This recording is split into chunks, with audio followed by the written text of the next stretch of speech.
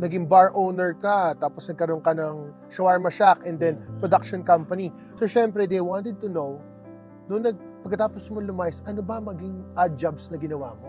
Syempre, you don't have the money at the time. Yes. So, how did you start saving? Ano yung una mong ginawa? I taught myself, self-taught everything. Hindi ako, hindi ako, I actually, I didn't graduate in high school. Okay. I self-taught myself in business. Mhm. Naghiram ako sa library on how to to invest Okay. and stuff. So that it started. So I invested in stocks, and then whatever I got from there, I invested in the club.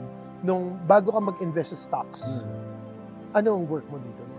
Oh, ah, nag-apply, nang naging PR na ako dito, doon na, nag-apply na ako ng mga jobs dito. So, yung mga nakukuha ko na tips sa restaurant, kasi I used to work in a restaurant, server ako okay. noon. So, yun, Wow. yung mga Ako, tips maraming may inspire na mga nasa restaurant business. Yeah. Sa, ano, na, so mga tips diba? na nakukunan ko sa re- sa Oo. trabaho, nilalagay ko sa savings. And then, that savings is going to investments for stock and exchange. Okay.